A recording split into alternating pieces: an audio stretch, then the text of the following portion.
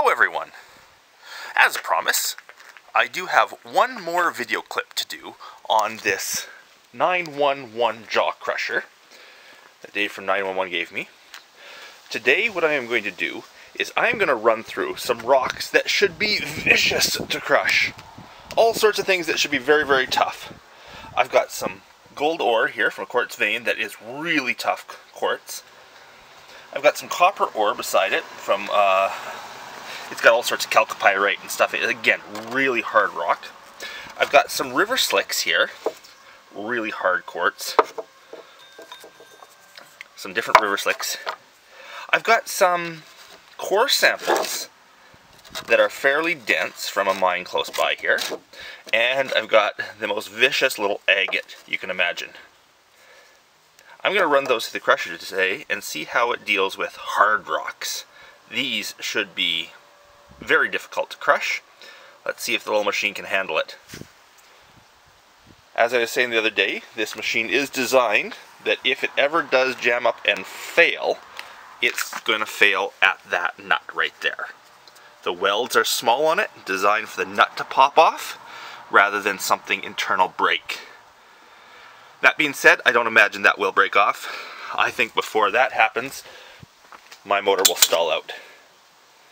The belts are tight, so I don't, the belt, don't think the belts will slip, but the mortar should stall before anything breaks. However, as I said, it is designed to fail right there, if it does fail at all. Let's see what it does with these crazy hard rocks. Now one thing I will mention before I get going here, I've had a lot of comments about people saying that I should be wearing a dust mask, and they're right, I should be. I really should be.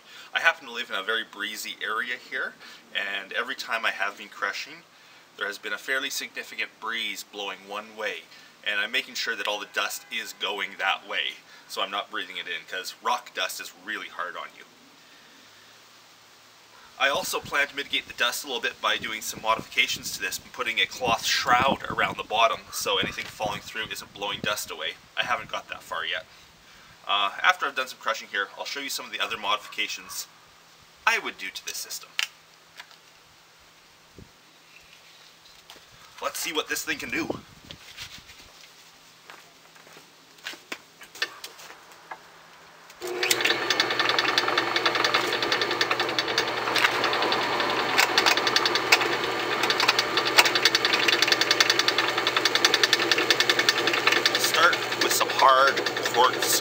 Quartz gold ore.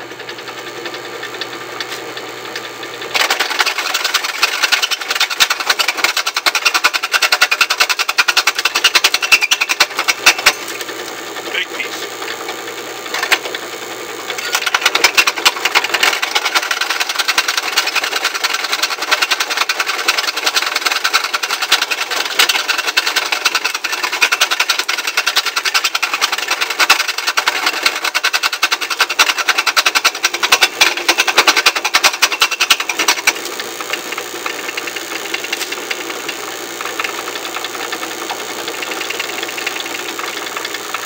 copper ore.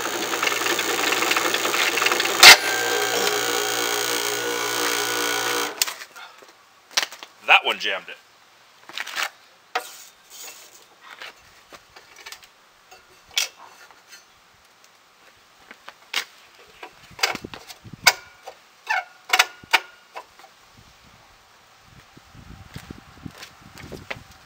Let's try it again.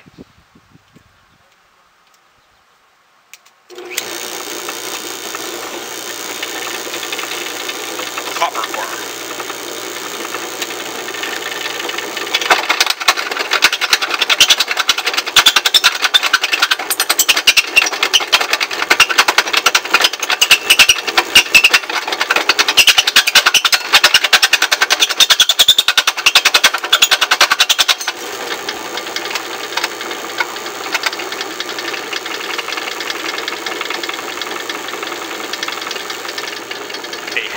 of a core sample.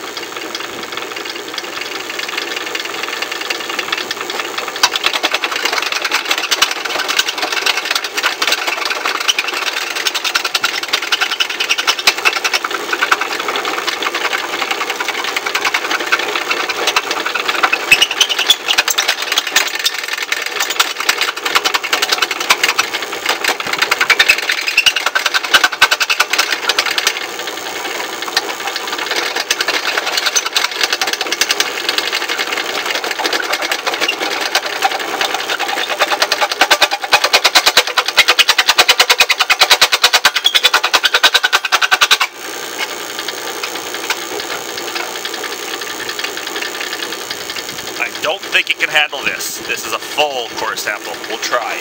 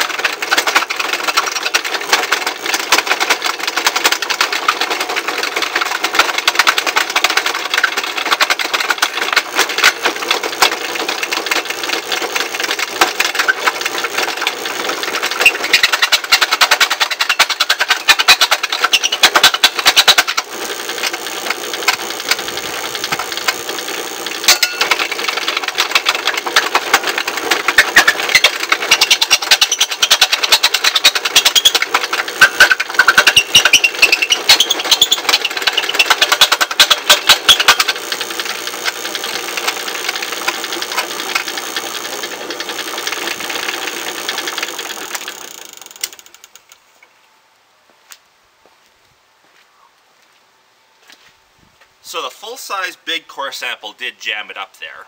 Although when I ran it the second time, it was okay to take it through.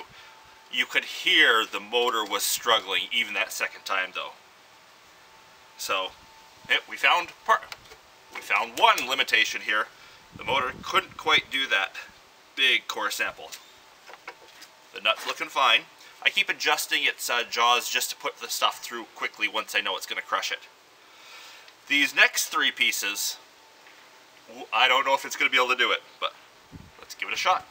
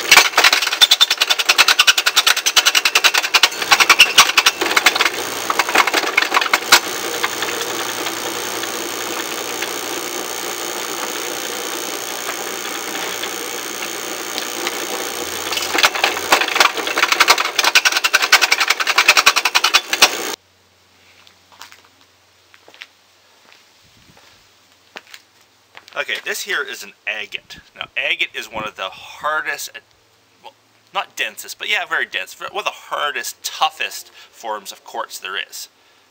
And nice agate nodule like this, very, very difficult. Let's see what it does with it.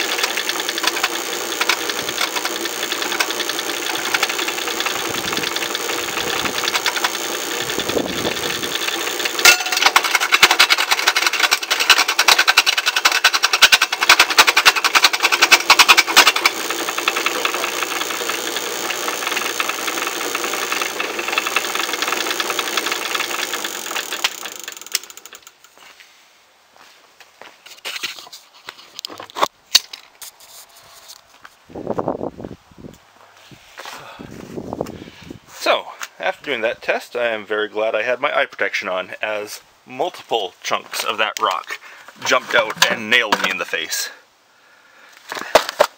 See some of the... I had the jaws fairly wide apart just so it go through it quickly. See some of the chunks of core sample, obviously all that tough, tough quartz.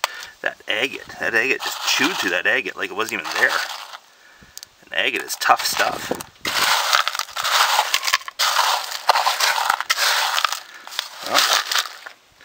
Not bad. I won't check any of that even for gold. None of that stuff has gold in it. Even that gold ore sample, that site has never shown me anything. Okay, so the one chunk of copper ore jammed it as it fell down quickly into the jaws and just instant stop. But it was easy to unplug the machine, back it off, pull it out, and the second time through, it was no problem. The big core sample, it had a problem with.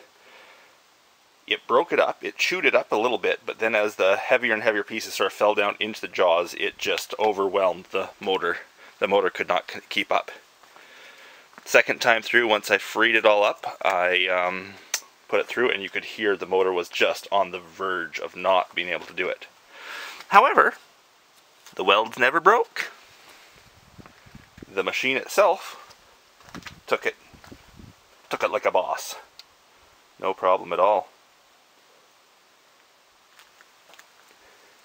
those um, quartz, those quartz slicks from the River Run quartz there, they exploded when you put them in.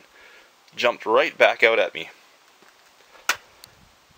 So maybe I should talk about things that I would do to modify this now. First thing is, I really need an electric switch on this. So I don't have to plug and unplug. So if I mounted up a nice switch right there, so I can flick it on and off, obviously that's a must.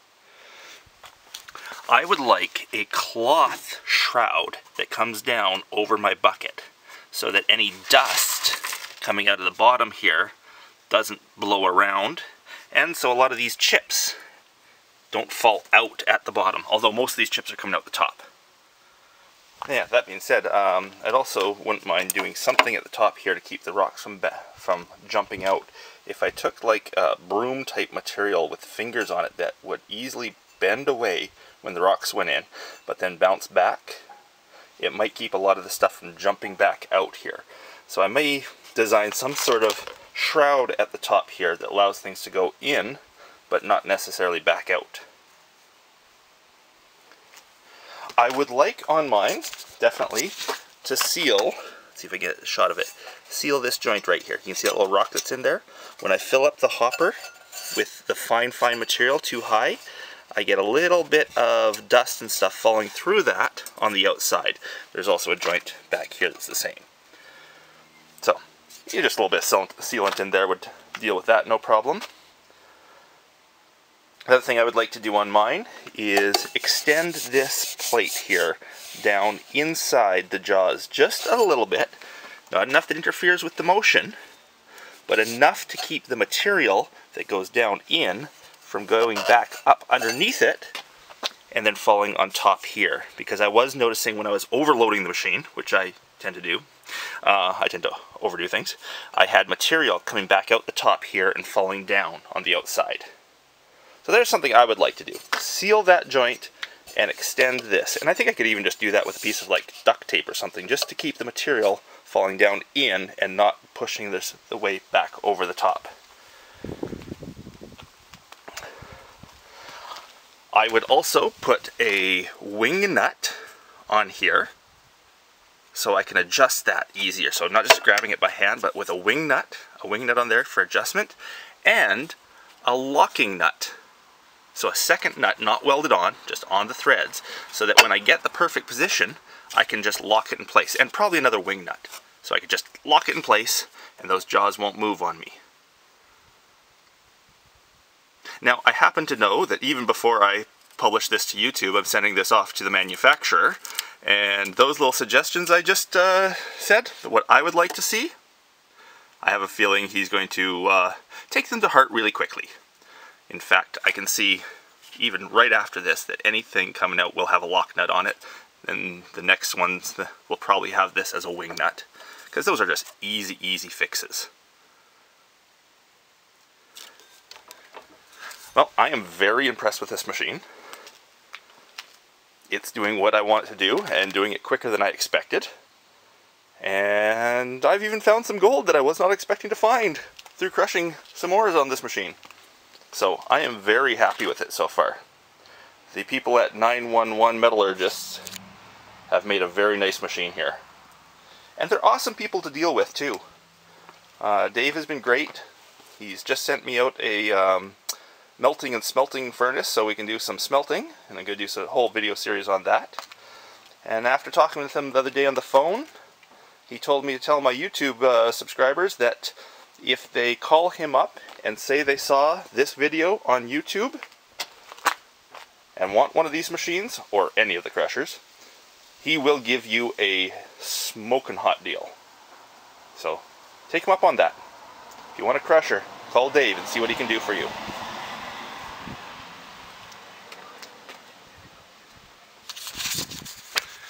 Well guys, that's the last actual review video I'm going to do on this crusher, although I'm definitely going to be using it in my other videos. Uh, I've got lots of stuff I want to do with it now. And my next uh, series of videos is all going to be on melting and smelting gold.